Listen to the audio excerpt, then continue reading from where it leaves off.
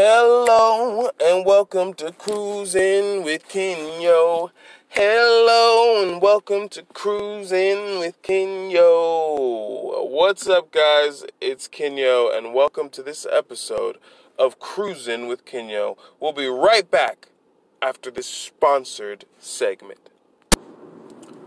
Ladies and gentlemen, um, we are cruising, and uh, today I want to talk about something that is highly inspirational to me, and I think is the main inspiration for why I focus and um, go so deeply into art and um, everything else business, science. And I think it's the ability to connect um, with people. You know, like if you like communication or something strikes you at a certain point, and you're just like, I like getting ideas across to people. I like being heard. I like being impactful. You know, like you you feel what it feels like, and you're like, oh, I want to keep doing this.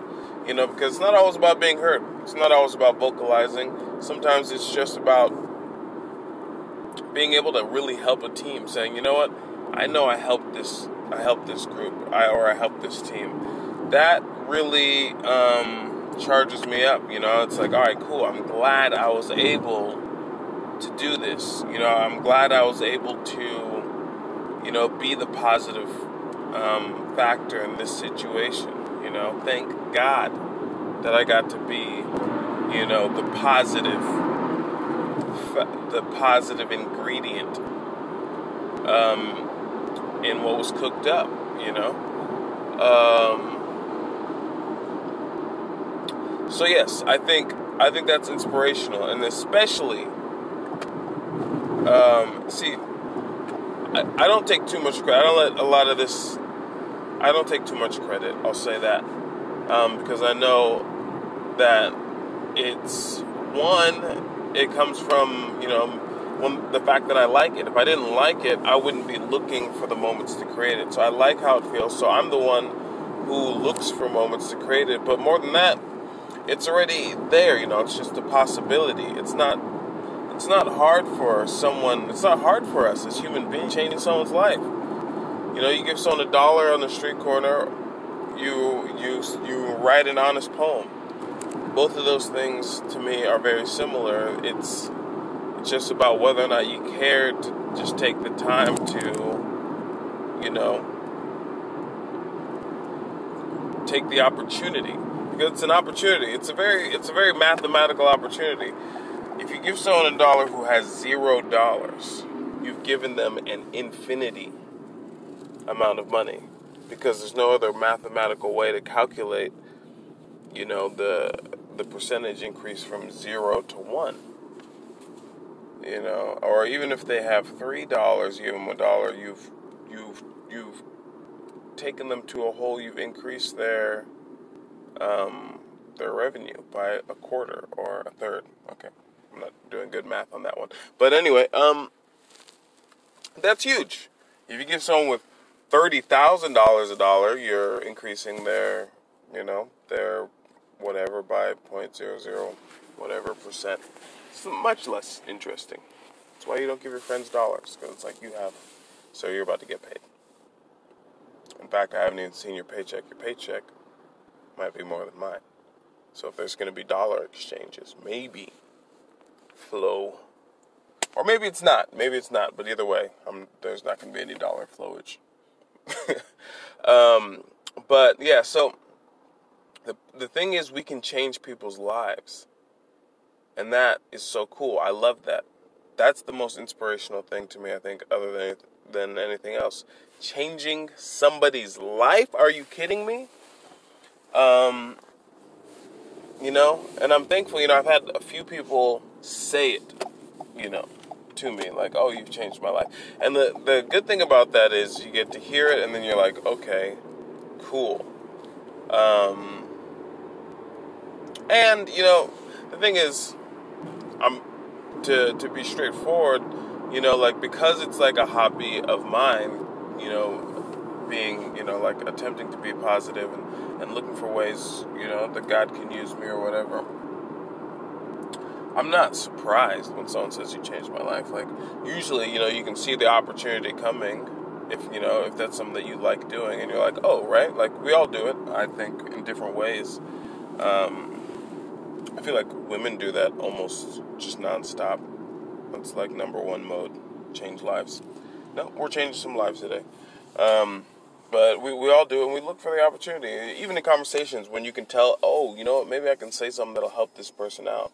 So when they finally do say, "Oh, you changed my life," I think what made it significant for me in the different ways that I've heard it is like what changes someone's life. Like if you can write a poem that changes someone's life, I don't think I've ever had anyone say that one of my poems. You know, uh, well, I have, but not. I think this is like the snobbery of it. You know, I've never had anyone at a show like the ideal what you're going for as a poet because you're like all right if i'm going to be a poet i got to write stuff that can do us if you go to a dentist there's no way you're going to wonder hey did this dentist change my life? He changed the life. You were going to die. He changed your life. As a poet you want the same satisfaction. You don't want someone coming and be like okay did he do a good did i get a good poetry thing? No. If i read you a poem i want you to be like oh my gosh i've been changed. I was gonna have bad health but now positive health is in my future because I coincided with this poem at this time. That's what a poet wants. That's what an artist wants. And um, that's what a scientist wants. It's what I think you want that change. And that's really what you're getting paid for, too. You get paid for the amount of change you can apply to someone's life. So that's the motivation. That's the biggest thing. What could ever be more inspirational than knowing that you have the ability, that you have a, a, way, a methodology, that there's an arena, there's a field of study that you can enter into um, that will allow you to change somebody's life. I like it. I love it, actually. So that's all I wanted to talk about. I think that's that's fun. I think maybe the someone listening, you know, for you, it might be like, oh, you know, that's how I'm going to find what I can, you know, spend 5% of my time on that'll make me a little bit happier. This thing that I do that I know has this thing, ability to change someone's life. I think that's where most businesses get started in general. It's like, oh, I can create a fitness system that can literally what? Oh, I can like deliver food to people. I can create food, I can cook food for people, and they'll like they it's better than like one of their alternatives. That's huge. I can fix people's teeth. I can I can fix people's ears. I can get the stress out their backs. I can create metal fixtures for their airplanes. I don't know. They, there's lots of different careers out there, but it's all about you know changing someone's life, and I think we all look for that satisfaction. And there's nothing better than being so good at what you do that somebody cries. I think that's why no matter what happens, there's always going to be competition in the world. Because there's always going to be someone who goes above and beyond because they're attempting to surprise somebody else with excellence. They're attempting to change somebody's life. Um, and I think it's important for people to follow that passion inside of them no matter what. I'm thinking about it right now and I'm like, you know, if that was a driving passion for people and if they can not let go of that no matter what, then that'll be great. But then, you know what? The problem is it's kind of a trap because then people are going to be like, oh, I want to change lives. You know, what's the greatest opportunity to change lives? I can change, you know, 100,000 lives in in a third world country for, you know, $3,000 let me donate my money. And then, there's nothing wrong with that, but um, there's just there's people who you spend 80% of your time with that you could do a 15% shift to their lives. And that's just about shifting, you know, the way that we move. Remembering to make that call, you know. And I think um, loyalty and, and friendship, another hard balance. How do you get how do you get those how do you get those balances? Um, you know, I think I just had an idea. I was thinking about you know, I don't know if I had this thought before, if it just came to me now, but uh, why do we do like board games? You know, especially we do a lot of things that are quote unquote, you know, controversial or scary or do some kind of shock or put us on the spot, put us on the edge. I remember being nervous about things like board games because I didn't understand, um, not board games, but like party games. It was just like weird to me. I was like, um, but I didn't realize that the weirdness was intentional. And if you don't take yourself too seriously, it allows people to see versions of each other in the room that otherwise we would hide. But these games, these routine, these these I these um these programs, I don't know what you want to call them, these um these activities allow for your you to be pushed to the edge in, in a variety variety of ways, whether it's horror movies, um, a lot of different things, roller coasters. As far as taking apart of these things in groups, they allow you to see angles of um, of yourself and your personality that uh, otherwise might not have been accessible to you.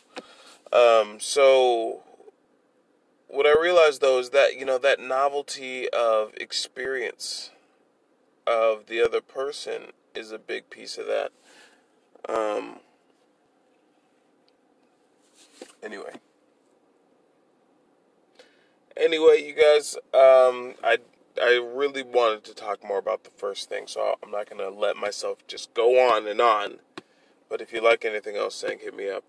Actually, I didn't say that enough, but definitely I want you guys to to hit me up. You know, I am um, an artist, an author, an entrepreneur. Um, if you go to my website kinyo.org, you can see a lot of the the things that I do personally and then if you go to my business project forward, you can see the things that I do collectively. Um, and then uh, if you go to lightington.com, you can see all the things that I do that you can collect, which is products and, and the like, um, paintings, poetry, um, services that me or one of my businesses um, provide. So there's a whole smorgasbord of things that I do, and it's all about being able to connect with um, people and, you know, in the areas that I can, um, help out and do something and make a change, hopefully, to somebody's life. That would be the best. So I'd love to get an email from you. Hit me up, kinyo at projectforward.com TB, um, or you know, DM me on a social media, or share this share this podcast and tag me in that. That'll be really cool. I like that. Um,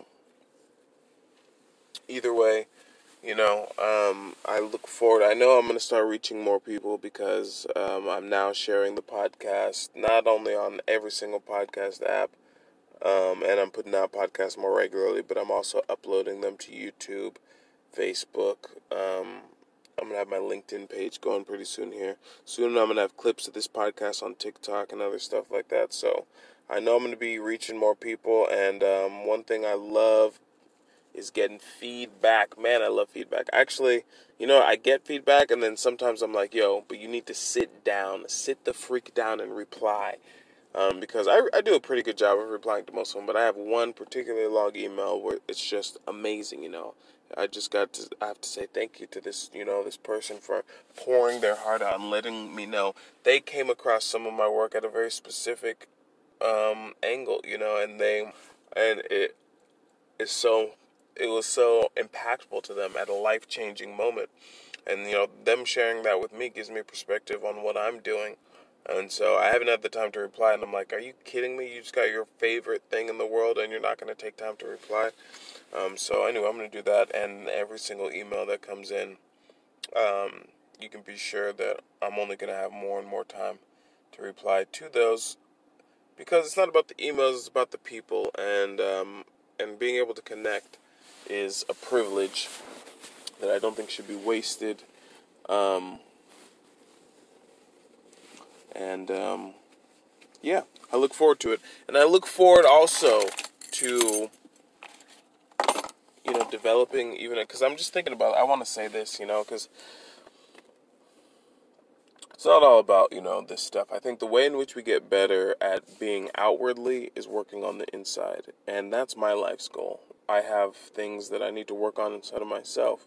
I need to get better than I was before, um, and I need to be having more fun. I need to be more fulfilled. I need to feel more abundant.